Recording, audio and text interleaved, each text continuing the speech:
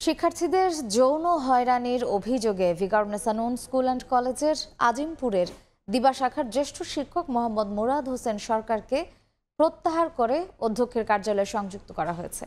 গণিতের এই শিক্ষকের বিরুদ্ধে গত সাত ফেব্রুয়ারি কলেজ কর্তৃপক্ষের কাছে কোচিংয়ে ছাত্রীদের যৌন হয়রানির অভিযোগ করে শিক্ষার্থীরা।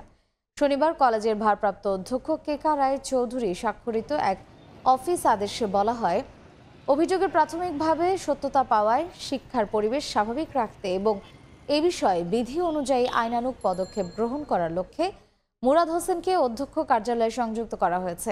এদিকে ওই শিক্ষকের বিরুদ্ধে ব্যবস্থা চেয়ে আজ দুপুরে ভিকারুনেসা নুন স্কুল অ্যান্ড কলেজের আজিমপুর ক্যাম্পাসের সামনে মানববন্ধন ডেকেছেন শিক্ষার্থী অভিভাবকরা।